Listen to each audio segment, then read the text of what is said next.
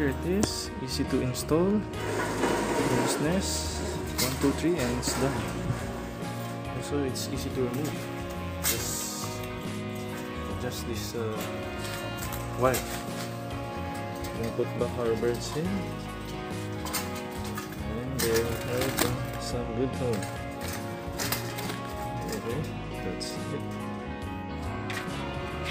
Okay, so may mga ibon ako dito. Nahuli ko to, mga dalawang buwan na sa akin.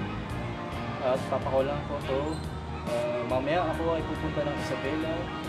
Ah, makakarating ako bukas at papakulang ko sila doon. Ito ay ah,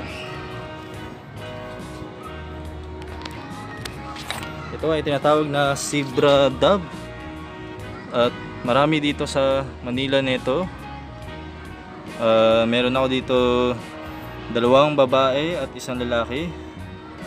Papakawalan ko siya sa Isabela upang sila ay dumami. Hindi ko alam kung meron ba doon, pero dito sa Manila, talagang marami na ito.